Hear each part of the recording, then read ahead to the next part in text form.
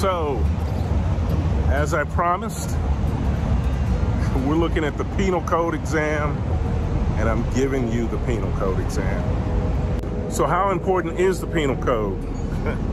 I can tell you, you gotta have that before you get anything else. It's an integral part of being a police officer. So I definitely hope you enjoy this review, this video.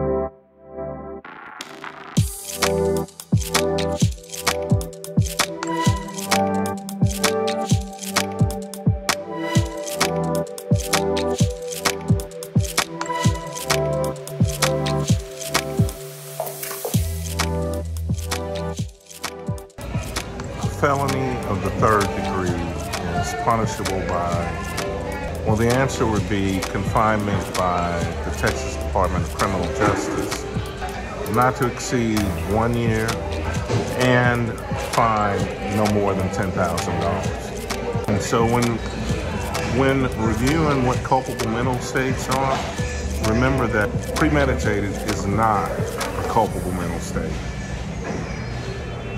Got to remember that. When looking at penalty levels for different offenses, think about criminal solicitation and what the uh, offense or what the penalty would be. Criminal solicitation may be charged for soliciting, but what's the penalty level? Penalty level is going to be a capital or first degree felony. When thinking about um, elements for proving an offense, Let's look at the offense of murder. Causing the death of an individual uh, while driving while intoxicated is not an element for the offense of murder. Remember that. It's not an offense, uh, or it's, correction, it's not an element for the offense of murder. Two people of the same sex that are seen kissing on the main street of a city is not a violation of the Texas Penal Code. Let's, let's think about this particular situation. Causing the death of an individual with the intent to murder, what is that punished as? What's the penalty for that? And the answer is it's a first degree felony. I think you already knew that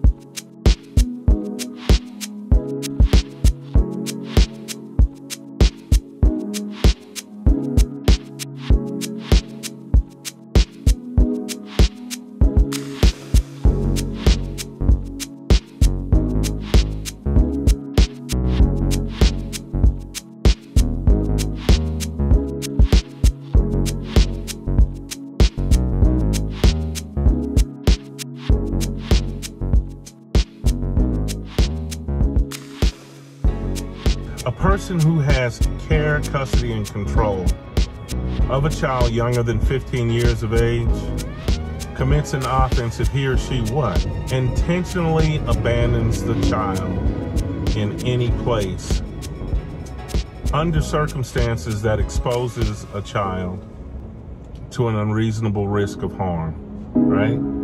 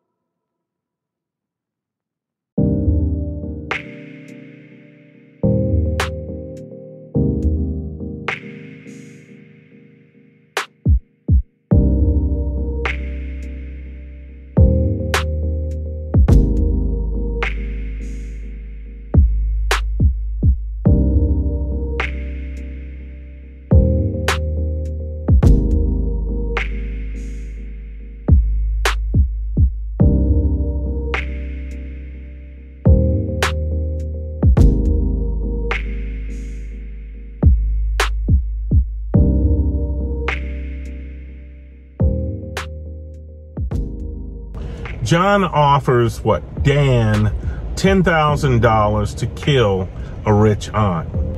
Dan tells a detective, and then that results in a sting. Dan then gives John a fake murder picture, right? Where he committed the deed. And then Dan asks John for the money. Here's the question What is John going to be charged with?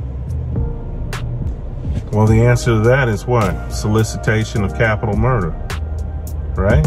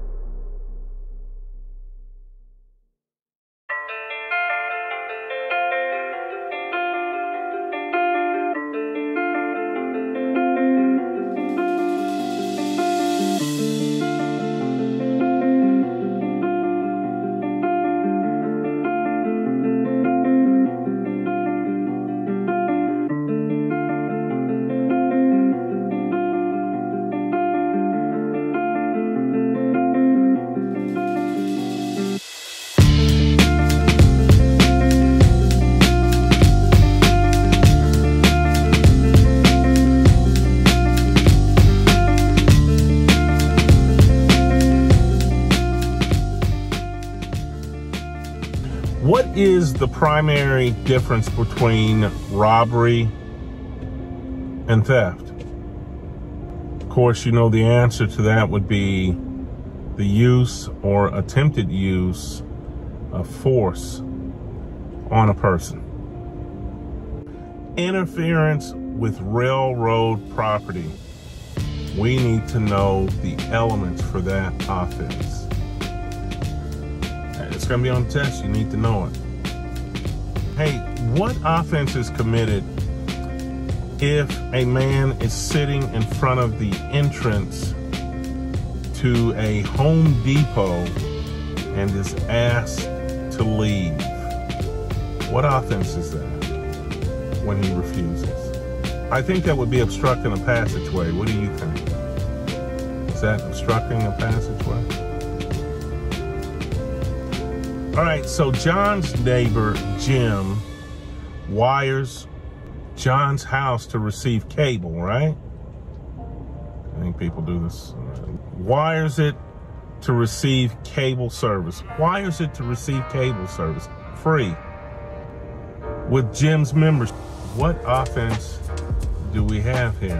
Is there an offense? And if so, what is it? So the defendant sets fire in his backyard to burn some leaves, right? He's burning dead leaves. Let me let me make sure that I'm correct on that. He's burning some dead leaves. But here's the problem: the fire gets out of control and burns a neighbor's fence. His neighbor's fence. What offense do we have here? Intentionally damaging a public monument. And the amount is $850. What's the penalty for that type of an offense? That's going to be a state jail felony.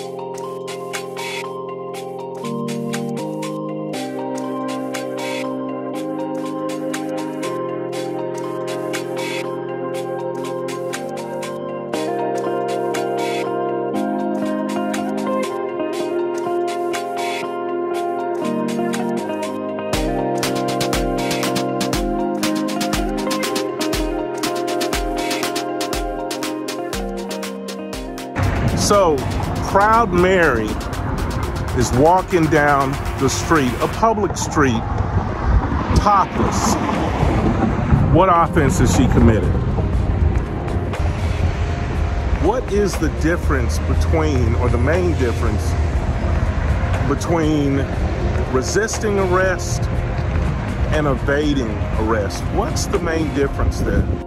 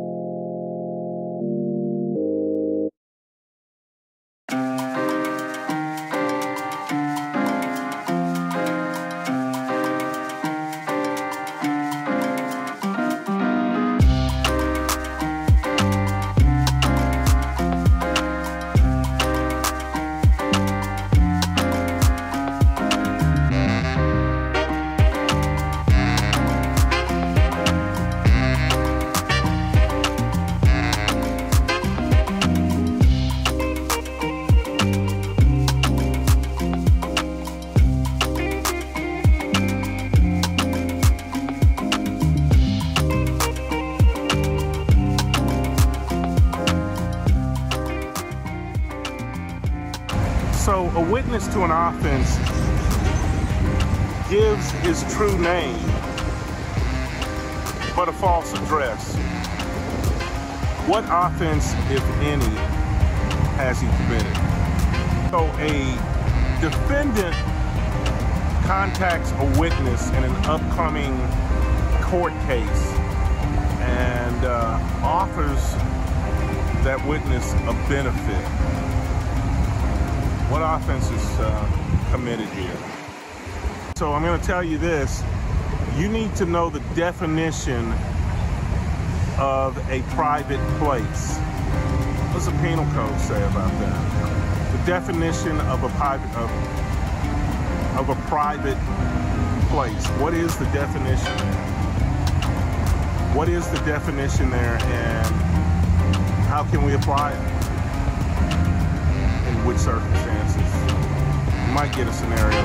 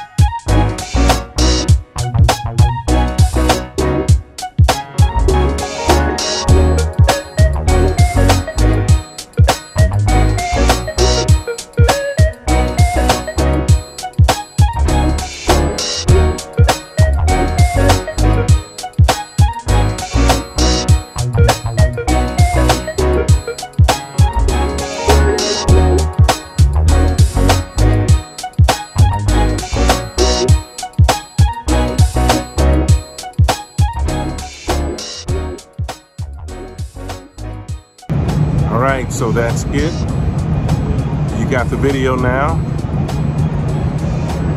Wish you all the luck on your exam. Enjoy the rest of your week.